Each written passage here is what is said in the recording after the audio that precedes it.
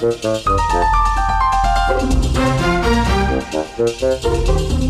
you.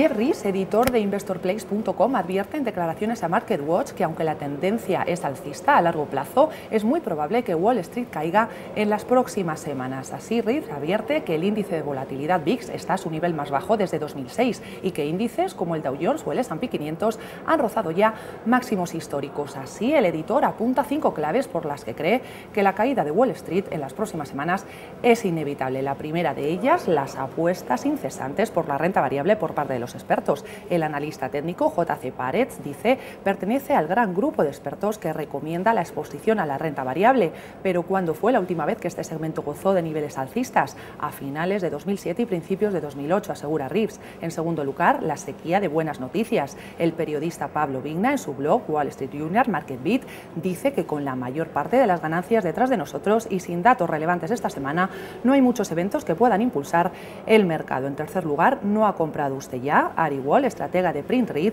dice que cuando se deja de comprar acciones, el ritmo ascendente del mercado disminuye y los precios en general se estabilizan. En cuarto lugar, la complacencia. Bob Dole, estratega de Nuben Asset Management, afirma que la estabilidad en el mercado no significa que no se haya instalado una cierta complacencia.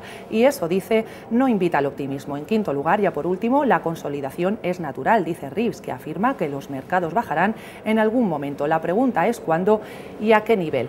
A pesar de estas claves, señor inversor, no tema. La mayoría de los expertos dice que la economía estadounidense va a ser mejor este año que en 2012 y todavía en 2014 va a ser, mejor. Ya de vuelta a los mercados, Europa continúa su tendencia alcista, sube de media en estos momentos un 1,40% y el IBEX 35 lo hace en la misma sintonía, sube un 1,47% hasta los 8.300 puntos. Esto es todo por ahora, nosotros volvemos luego con más información.